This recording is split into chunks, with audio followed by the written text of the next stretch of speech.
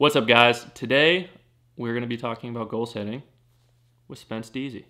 What's up, yo? So it's been what four about four months since you've been back in California. Yeah, just about four months. Do you remember what one of the first things we did was when you got home?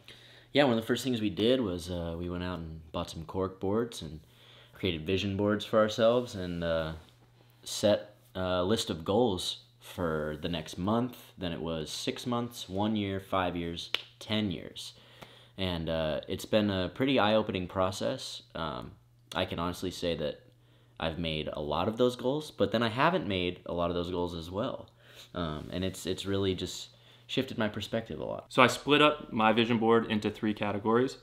One being uh, business goals, uh, health and wellness goals, and then personal life goals. Yep. And one of the biggest goals I accomplished was under health. And to be honest, it I, it had a lot to do with our slap bet, which Which we're starting a new one. we are. But Maybe I'll slap Tylor this time. he's probably not going to. But one of my biggest goals was to lose 10 pounds by the end of the year. Yeah. I ended up losing 25. Mm-hmm. And to be honest, I think other than the fact that we had a bet on it, was I saw my vision board every single morning. I looked at it. I saw the photo. I put a photo of healthy food like fruits and vegetables and stuff, and then a couple people I would like to look like, and wrote down exactly my specific goals with 10 pounds. Oh, that's why you had those pictures. I thought you just like dudes with six packs. God damn it. I'm definitely cutting that. no, but yeah, so I put I put those pictures and wrote down the specifics and I nailed them for the first goal Mhm. by the end of the year. And then my first one month goal was five pounds and I actually didn't accomplish that, Mhm. which I was still still getting acclimated to it. Yeah. But I think the number one thing with the vision board for me was the visual aspect of it, seeing it every day, Yeah. every morning. I think a lot of people, I mean, I do believe in the secret or whatever, where thoughts become things, because when you think about it, you work towards those things, mm-hmm. right? Yeah. So every morning, seeing those goals, I work towards them, mm-hmm. and I, I've accomplished. I mean, for sure, the one health goal, and then I've accomplished a couple business goals, but I'm still like, I still have my six month and my one month that I'm keep on, like I keep trickling on, and just adding to those goals that once I Yeah, and, and they evolve over time, and I think that's been one of my biggest takeaways from this is, uh, and, and this is something that you and I have talked about is I have the tendency to disperse my energy into like ten things, and then I'm half-assing ten things instead of like, okay, here's the one thing, like what do I want the most? Put your energy into that one thing, and I think that this uh, vision board and this goal-setting process has really opened my eyes to like what that one thing is for me that I want to do, and like I had all these goals that involve like just so many so much so much more than so, so much broader of a focus. And uh, when the truth was all i really want to do is produce music. And uh, now i feel like that is my focus. And um, i feel like if i didn't go into it with that idea of like hey this is these are some things i think i might like to do. I'm gonna set goals for each of these things. And then as we went i saw where i was failing and where i was succeeding. And the, areas I was succeeding was like that was telling me that's what i truly wanted because that's where i was putting my energy towards you know? And and i think it's okay to take the mindset of like hey maybe four months ago i had these goals but now here i am four months later and i realized you know maybe that wasn't really what i wanted. I thought that's what i wanted at the time but as i started taking action towards that i realized like nah really what i wanted was goals one two three not four five six because they weren't as related. Yeah. And I think that it's okay to have that. If you're someone who's just getting started uh, with goal setting and uh, moving forward in in the direction of designing your life as you want it to be, um, realize that you don't have to put so much pressure on yourself by making these things so rigid. You can always make them flexible. It's okay to change it up as you go. It's okay to realize like, hey, you know what? I wanted this then, but now it doesn't mean as much to me. That's all right. I, I agree. I think adjustment, adjustment, and understanding of what you want is key. Yeah, absolutely. I think that has helped me a lot. I feel like I would be so stressed out if I didn't have these goals set. mm-hmm. Like, just being in limbo. Yeah, yeah. Like, It's funny because like you to me are more of a structure guy. yeah, I'm not. Like like if you look at my vision board versus his vision board, his has all of his goals like typed out up there. Mine doesn't. I just have pictures of the things that that it represents in my head. And it's but that's mean- what works for me and that's about like knowing yourself, right? yeah. I mean, I still have pictures. No, I know, but you still have like you have your goals like actually written there. Yeah, hundred percent. Is there is there a reason why you don't? The reason why I do is because this dude Kevion talks about affirmations all the time, Mhm. and he, I forget I forget how long he does his morning affirmations is like five or ten minutes. Like he says everything that he is, Yep. and it's I am this, I am that, and I think seeing those words and saying it in my mind Mhm.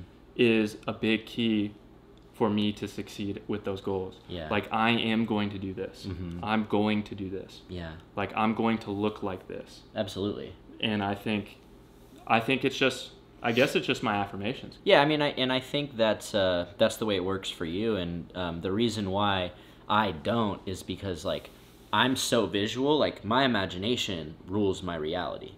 Uh, like that's I mean, you know me. That's Yeah, how yeah. I've always been. Like fucking people like Spence, you're a space captain. Like what's going on in your mind? Yeah. And because that's because like I'm living in another world sometimes, and like Pisses me off sometimes. It's like fuck, dude. but but that's my way of connecting it is like hey man i want to own a house on the beach in ventura so what do i have i have a picture of a house on the beach in ventura and then i can sit i can sit in my meditation and put myself there and like hey man what's it feel like to wake up every morning and go surfing fuck it's a great feeling because i can put myself there with my imagination. So so that to answer your question that's why i use pictures instead of the words there. But i think um, that's something moving forward that I'm going to experiment with is actually putting my next set of goals in words on that on that thing just so I can see them every day because I see the value in that.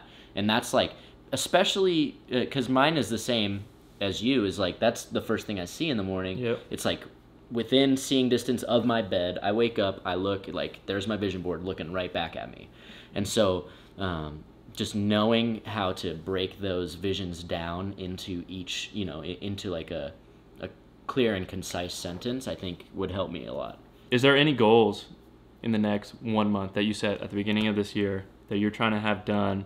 I guess it's the middle of January. Yeah. By the middle of February. it's to put out the album arbor beer 2020 yeah that's my tangible goal in the next month to to uh, contribute to my life path and and uh, especially the business side and, and, and legacy and what I want to leave behind when I'm gone. I want this to be a part of that. It's sick. hmm It's super dope. Yeah, I mean, even like if you uh, think back to like where I was a year ago with putting out the clothing optional blankets album, like that's a big part of it too, and like that progression from there to here. Bro, it's huge. I love it. though. Huge. Like But that's to be honest, so like excited. like the only reason why I ever listen to it when Mhm. it when it comes on my Spotify is Mhm. because it's you. Yeah. There's one song I don't skip Mhm. because I just fucking think it's hilarious at the beginning, and I know you know what it is. Fucking Mary Jane Last Dance. hmm Look it up. Mary Mary Jane's Last Dance clothing option. Well, actually, if you really want to look it up, Oh. you should go on Spotify. I mean, I'm sorry. If you really want to look it up, you should go on SoundCloud and look up Blankets by Clothing Optional because that tells the story start to finish. That was an album that I produced uh, with with my band back in Colorado. Some of my best friends, super close, and uh, man, there's it, we put a lot of thought into that. And if you like really look at what we did and uh, listen to it start to finish, you'll you'll appreciate how much thought and energy and effort went into it. And man, I, I can't be more proud of what we did, man. I mean, it was it was awesome, dude. Same. And uh, to be honest, I'm more proud of the progression that I've seen. They'll they'll see it, Yeah, yeah, but like this, what what you guys did there Mhm. into what you're doing now Mhm. is incredible. yeah, Like it's like it's like five complete steps up. Mhm. You know what I mean? yeah, yeah. Like it's a completely different ballpark. It's pretty legit. It's Yeah, pretty yeah. cool. To be honest, I'm pretty hyped where this conversation went. Like wasn't really planned to like dive into things like that, Mhm. but uh Yeah, that's it. So it- okay, it's a alright. it's a I mean it's a further in-depth conversation on like a goal that you've set yep. and it, I I mean it's pretty sick. Yeah, dude, absolutely. So can I turn it on you now? What, What's like, your one month goal, or well, this time next month? What is a goal that you hope to have accomplished? And it could be anything. It doesn't have to be business related. You know, mine was business related, um, but To- yours to be could honest- be body. Yours could be anything. To be honest, my my one month goal is pretty simple.